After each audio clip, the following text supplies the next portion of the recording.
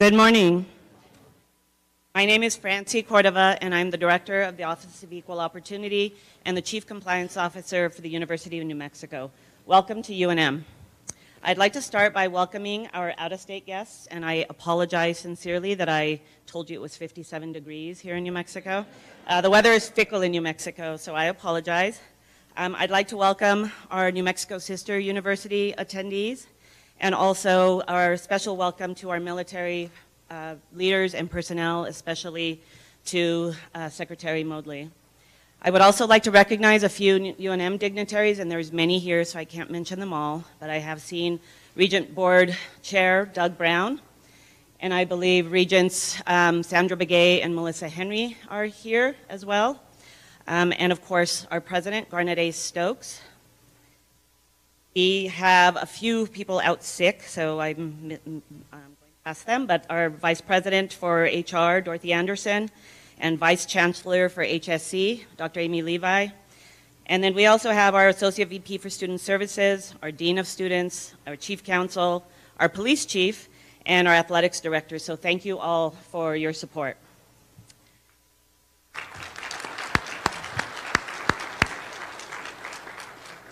So in April of last year, my colleague and I, Angela Catena, were invited to attend the first national discussion on sexual assault and sexual harassment at service academies, universities, and colleges.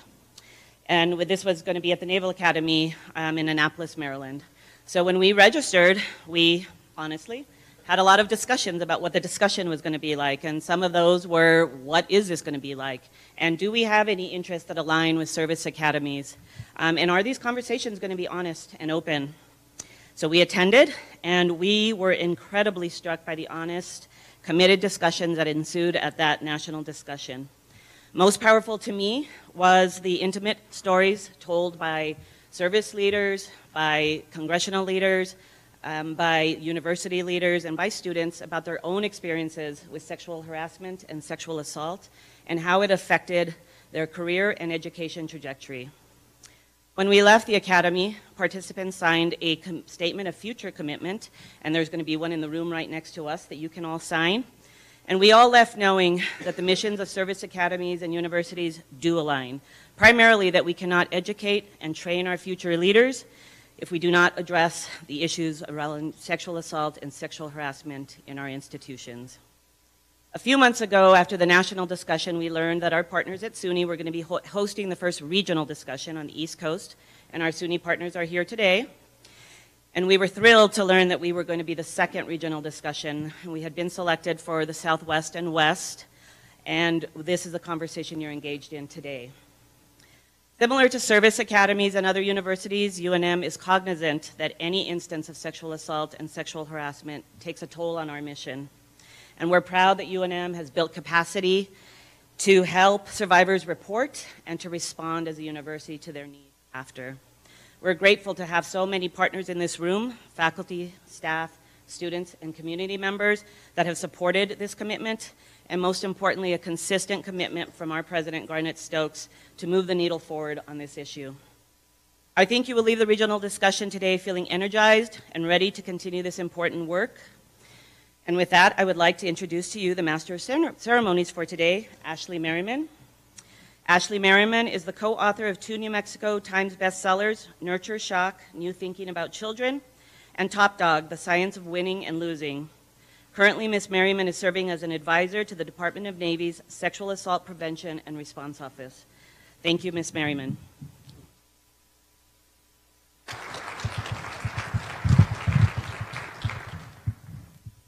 morning, everyone. It is such a huge honor to be here. Thank you so much for letting me grace the stage with these luminous dignitaries. Um, so first up is Ms. Melissa Cohen. A member of the Senior Executive Service, Ms. Cohen is the director of the Department of Navy's Sexual Assault Prevention and Response Office. In this role, she is the Secretary of the Navy's principal advisor on issues relating to sexual assault and sexual harassment. Under her leadership, the Department of the Navy has established new partners with academia, like here in the room, and they have also, she's also been guiding the Navy and Marines development and assessment of intervention programs. She was instrumental in the development of the national and these regional discussions, and I know it's going to be an inspiring day with beginning with Ms. Cohen. Thank you.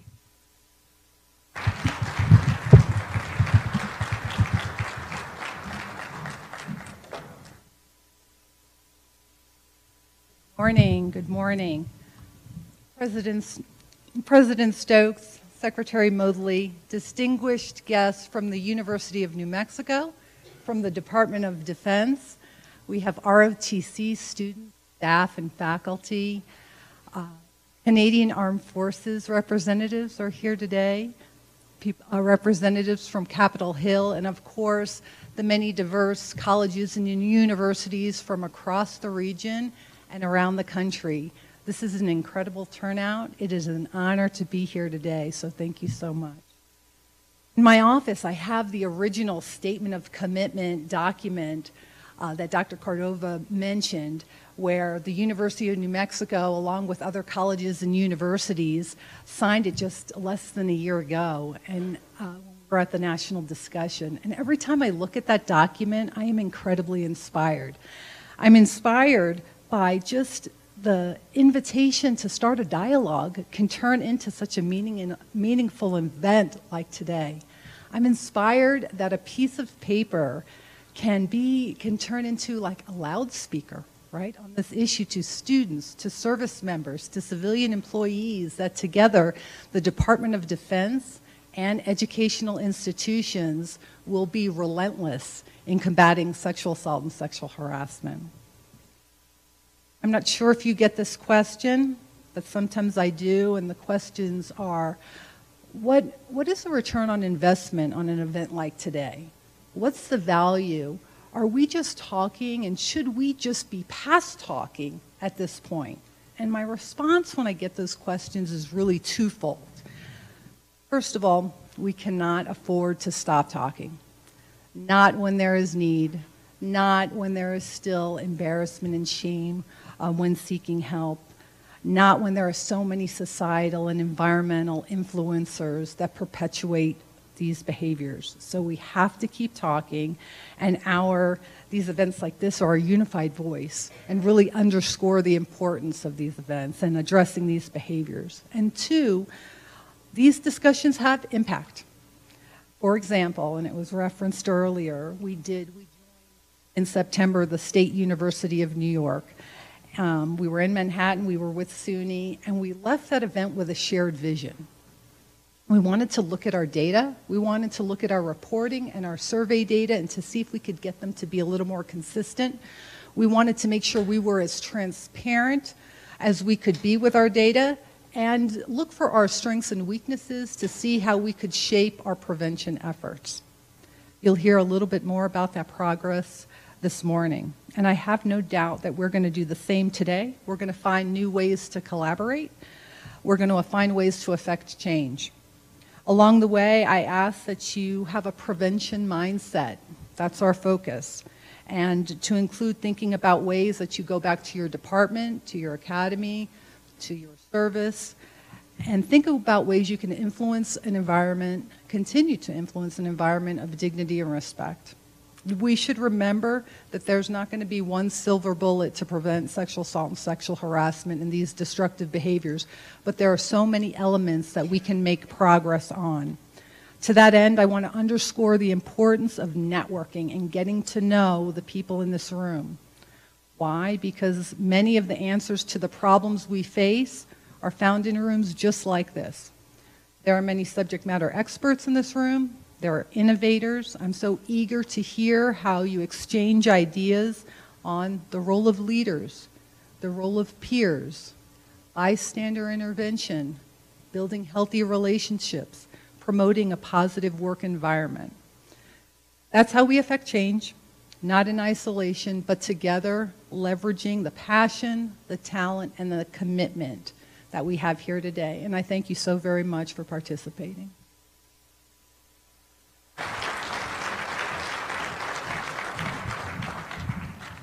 Thank you so much. At this time, we're going to have two video messages from our New Mexico representatives of Congress. Representative Haaland and Representative Torres Small. Thank you.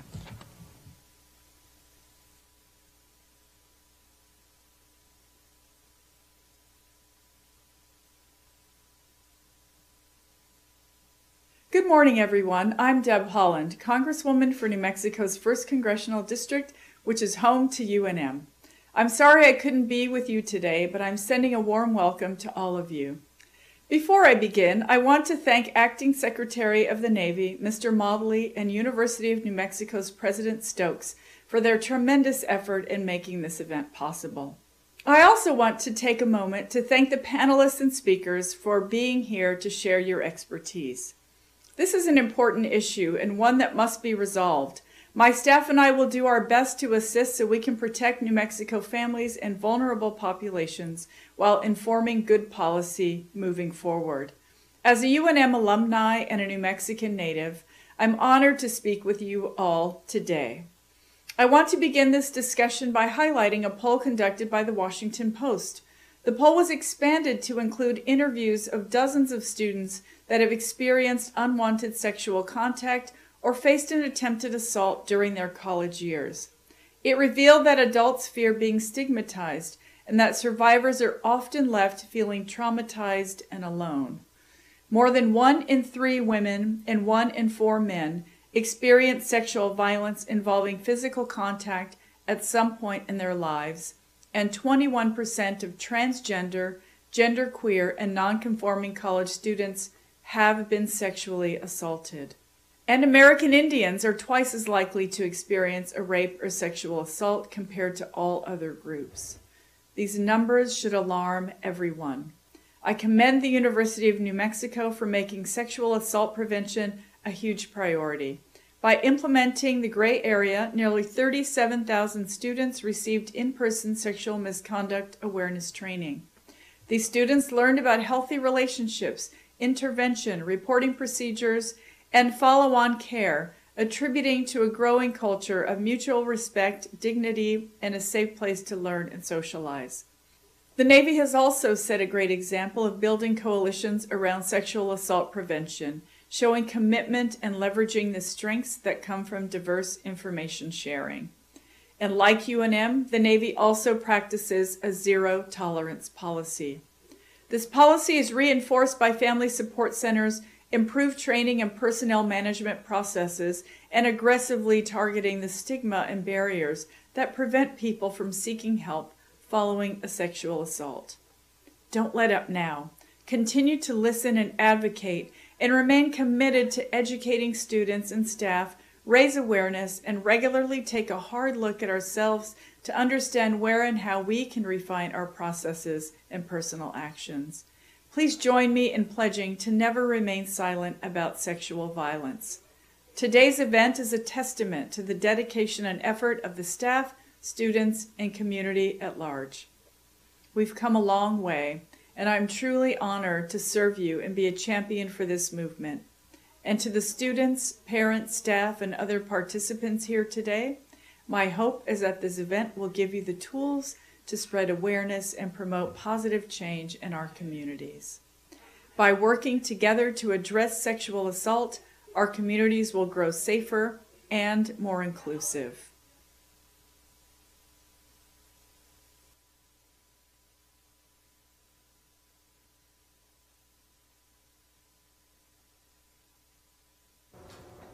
Hi, I'm Congresswoman Xochitl Torres Small, proudly representing New Mexico's 2nd Congressional District. As a member of Congress, I'm often faced with tough statistics about the state of New Mexico and our country overall. But a few stats should alarm us all. According to a 2015 Association of American Universities Campus Climate Survey, almost one in four women and more than 5% of men reported some form of sexual violence during their undergraduate studies. In service academies, the Pentagon reported between 46 to 56 percent of women and 11 to 13 percent of male cadets endured sexual harassment during the 2017 2018 academic year. Students should be able to focus on their studies without the fear that they may fall victim to unwanted sexual violence. These statistics should not only alarm us, but also propel us into action. In Congress, I've supported the reauthorization of the Violence Against Women Act. By reauthorizing VAWA, the House sent a clear message nationwide that our federal government will protect all survivors and condemn domestic and sexual assault offenders. As leaders on your campus, you also pay, play an important role in helping shape a culture of respect, support, and safety. You each can be part of the cultural shift needed to make sure all campus community members are treated with respect. And leadership is not only modeling good behavior, but having the courage to call out others, even our friends, when they make comments or take action that you know in your heart is unacceptable. I am confident that by working together, we can reduce the high rates of sexual violence among college age students. Because the statistics I mentioned earlier are more than numbers in a report or a survey. They are our friends, family, classmates, and members of our communities. We can create a culture where no one needs to feel unsafe during a time when they should be able to focus on building a future. It just takes the courage to show others around us that change is possible. It begins with each of us. Thank you.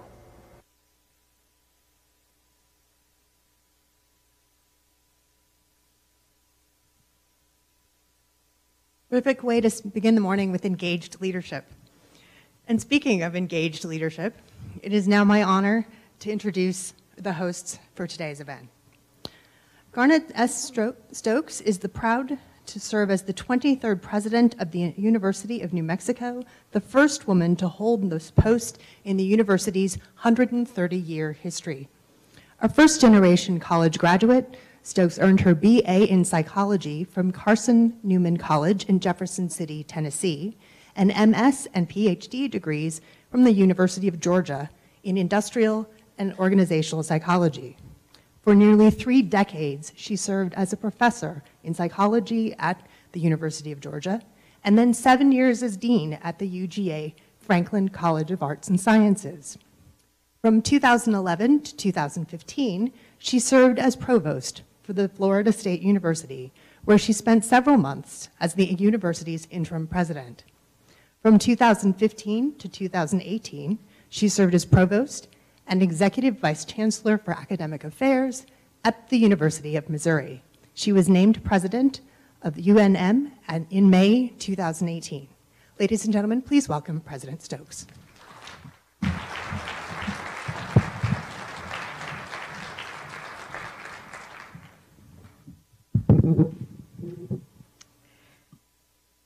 Morning, everyone. It's a great day, and it's great to see so many people here engaged in this conversation. It is my great privilege to welcome you to the University of New Mexico and to the city of Albuquerque for what is truly a vital conversation for all of us. I also want to welcome you to the ancestral home of some of New Mexico's indigenous people, as our university is located on lands that once belonged to the Sandia and Isleta Pueblos. We're proud to acknowledge that unique part of UNM's history. It's an honor to have been selected as the location for the second regional discussion on sexual assault and the harassment at our colleges and universities and service academies. As you know, this is a matter we take very seriously at the University of New Mexico. We have recently and successfully completed a three-year formal agreement with the Department of Justice to proactively examine our efforts to prevent and address sexual misconduct and to provide clear and consistent policies and procedures for reporting, investigating, and responding to any such conduct. In fact, we've gone well above and beyond the recommendations and legal requirements of the agreement, making us what I believe is a role model for how universities, colleges, and service academies can take on these critical challenges. You should also know that UNM has a commitment to our military veterans that sets it apart from many other universities. A commitment, I think, that also makes us an ideal host for this particular regional discussion. Military service academies and universities are helping to create not only educated and informed citizens, but also the leaders we need, now more than ever, to guide and protect our nation, both now and in the future. As someone who was raised in a military family with a husband in the military, with nephews, military at all generations, it seems. Um, I've seen uh, up close and personally the unique challenges that military service and our veterans can face when they get into a university setting. Challenges that our service academies also prepare them for every single day. Here at UNM, we've implemented campus-wide green zone training to give our faculty and staff a better understanding of the experience of veterans and service members and their families uh, while they're here in our classrooms and on our campus. These are the kinds of training opportunities we're integrating across our campus to ensure the kind of seamless and streamlined accountability our faculty, staff, students, and community at large demand and deserve. And so we're grateful that the Navy has linked arms with UNM to create a place where we can all share best practices, share our experiences, and synchronize our data in the name of our shared goal, the reduction and ultimately complete prevention of sexual misconduct and violence. This room is filled with some of our best minds and smartest leaders. And I'm looking forward to spending the day listening to and learning from everyone who is here. Thank you again for being here with us, for being in this really critical conversation for our, for our university, for our region, for the country. Uh, it is now my pleasure to turn the floor over to the Secretary of the Navy, Thomas B. Modly. Mr. Secretary, welcome to the stage.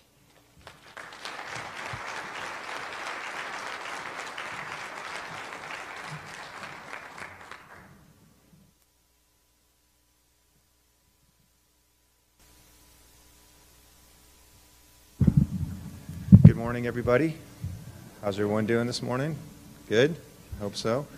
Um, I want to start with a story, and it's a story I told um, last week at UTEP. I tell it various times, uh, um, and I figured, well, you know, what are the odds that someone was that last week is actually here today? Oh, can anyone? You guys can't hear me? Is that better? Let me take it off. So um, I was at UTEP last week, and I gave a speech, and there's a story I like to tell. And I thought, you know, that'd be a good story to kick it off here today. And then I thought, well, you know, what are the odds that someone who was at that speech at UTEP is here today? And we'll have to hear this story again. And sure enough, uh, someone came up to me and said, oh, I heard your speech at UTEP last week. so I apologize. You're going to hear this story again. But, you know, it is a really good story, isn't it? Yes. Okay. So I'll, I'll start off with it. Um, and it's kind of hard to tell the story and not come across as a little bit pretentious. So just so bear with me. This is absolutely a true story. So I'm having dinner with Tom Cruise.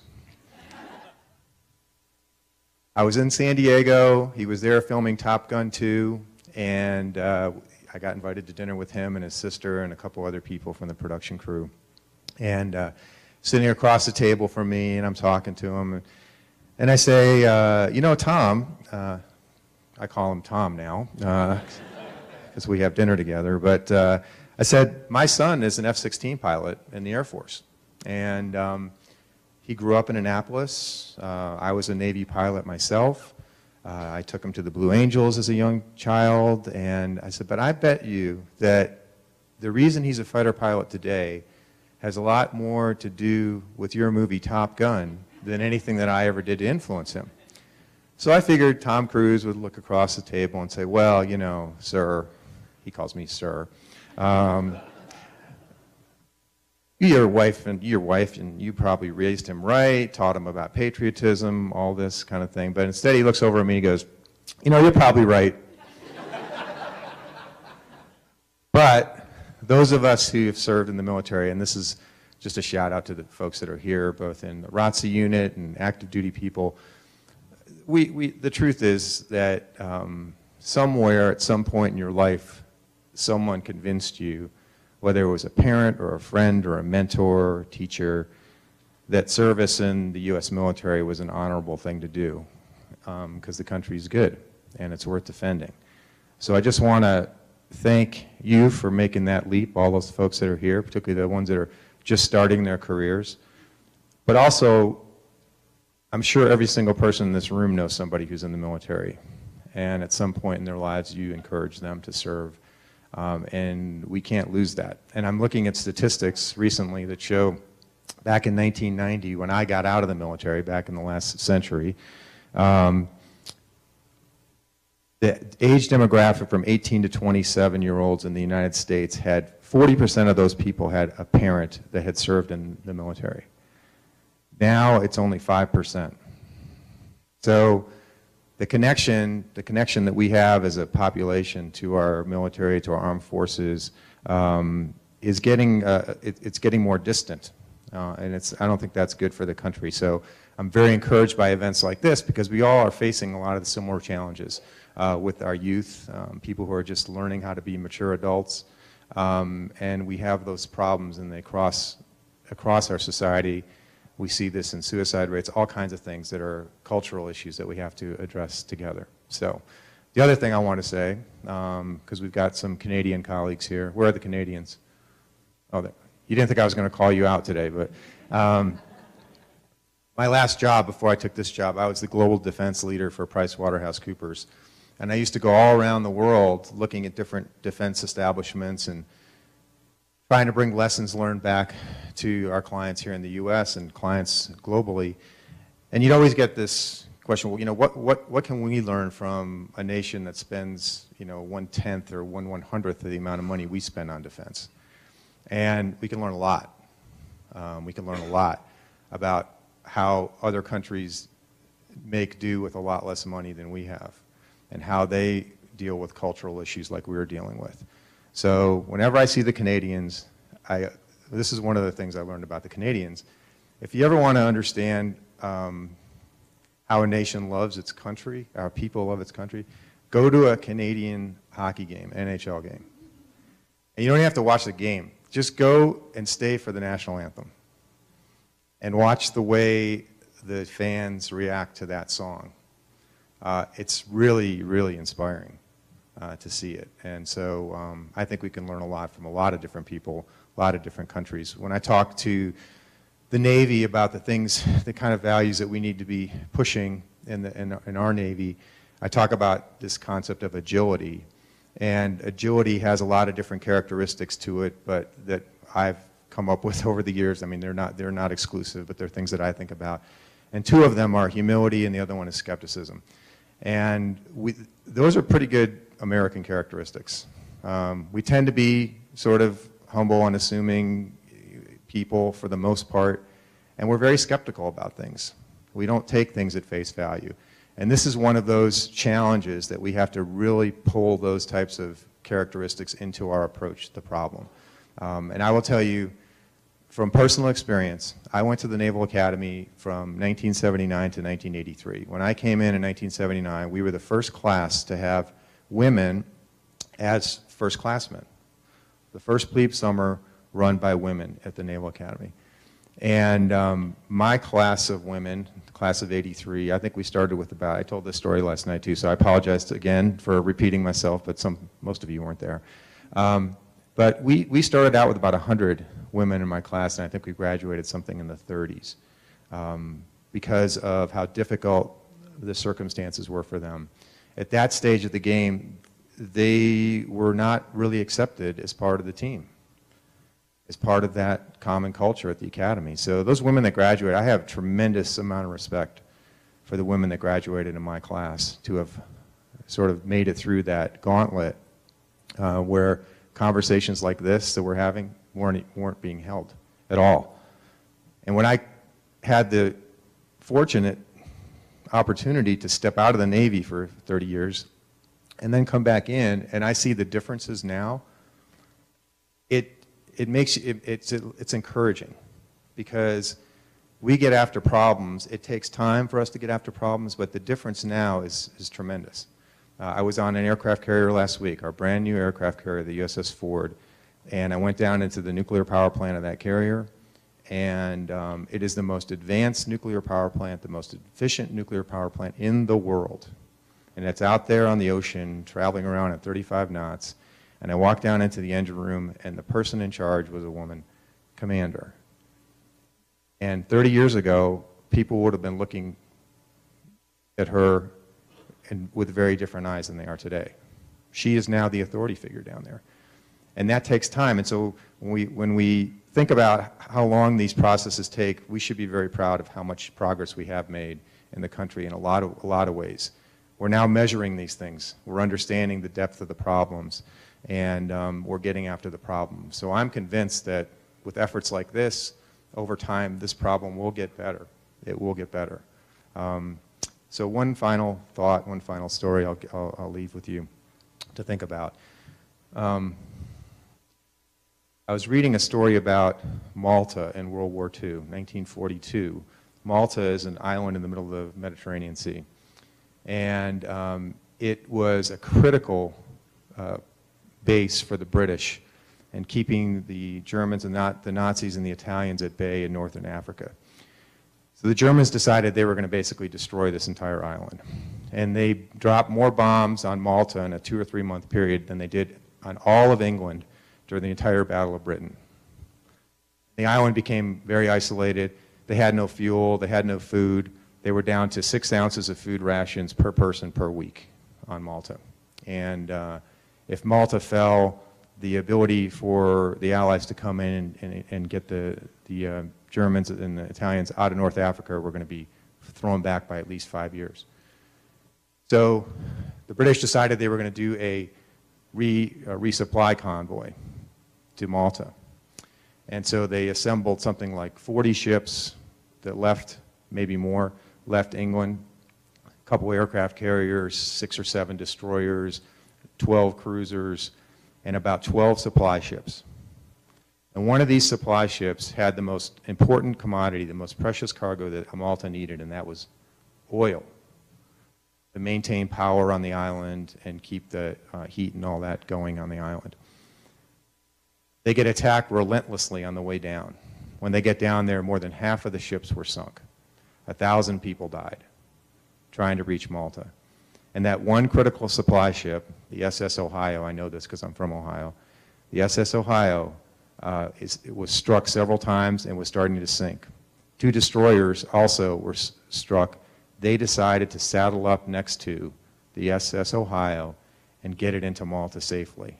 And that one resupply mission saved Malta at great risk to those two destroyers. Those two destroyers basically, because the ship was listing so much, they were coming in like this, coming in. And it's a really good analogy for what people can do to help in, with solving this problem. I heard, we heard today about how victims are still very reticent to come forward because they don't feel it's safe, they feel ashamed.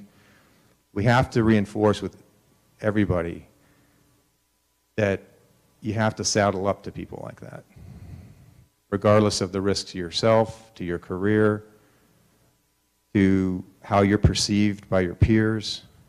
You have to saddle up to people like that who are hurting because you never know what precious cargo is inside that person that's going to survive and change the world. So, how do we find those people to do that? Look below the horizon. Find the young people. They're the ones that are going to sustain this effort beyond the time that we're here. So, with that, thank you so much for having me here. Thanks for the great support from universities. Um, our service academies really, really uh, treasure the interaction with other universities. We want to be part of this solution. We know we're part of the problem, and we want to be part of this solution. And so, thank you so much for everything you do. Thanks.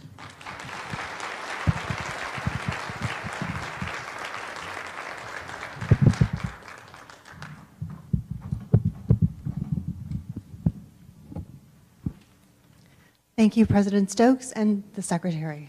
Another round of applause.